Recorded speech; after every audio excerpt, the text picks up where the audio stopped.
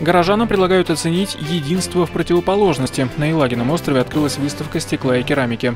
Юрий и Ольга Мунтян, Марина Колосова-Лисовская и Константин Плюснин. Имена этой четверки в мире декора уже стали хрестоматийными.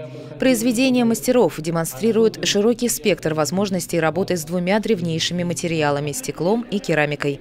Экспозиция выстроена в виде своеобразного экскурса в историю отечественного декоративно-прикладного творчества. Если 50-е искусствоведы характеризуют знаменитым лозунгом советских времен «красота и польза в массы», художникам навязывают делать посуду и торшеры, то 70-е – это эпоха свободного творчества и поиска новых форм.